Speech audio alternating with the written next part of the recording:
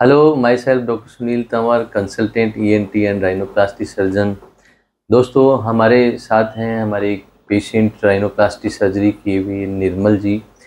आ, इनको नोज़ में क्या प्रॉब्लम थी मैं आपको बेसिकली बताता हूँ। जैसे इनका ये जो आप सामने जो पिक्चर देख रहे हैं इनका बेसिकली नोज़ जो ये डेविटेड नोज़ था ये डेवलपमेंटली था बाई बर्थ ही था इनका। अगर दूसरे व्यू में नोज़ को अगर हम देखते हैं तो ये जो नोज़ है, इसकी ये जो हमारा सेप्टम है, ये एक तरफ़ आ रखा था, उसके कारण इनका बिल्कुल नेजर ब्लॉकेज रहता था ब्रीदिंग नहीं होती थी। और जो नोज़ का जो लुक भी है, ये जैसे पार्ट इतना निकला हुआ था, उसके कारण ऑकवर्ड लगता था, परेशान थे। और जब ये मेरे पास आए थे तो दोनों इनको प्रॉब्लम थी लुकिंग के अंदर भी रिगार्डिंग एंड द ब्रीदिंग में भी।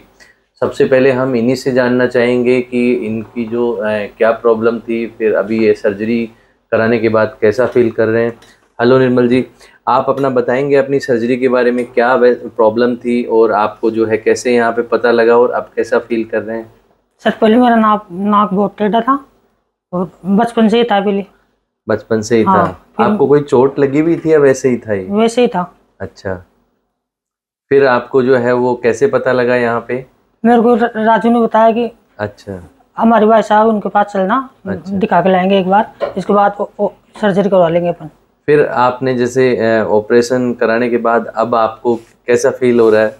एकदम बढ़िया बढ़िया फील हो रहा है। बढ़िया फील दोनों दोनों नाक से सांस आ रहा है। दोनों नाक से हाँ। सांस आ रहा है और आपकी सेप से भी खुश हो आप? हाँ जी।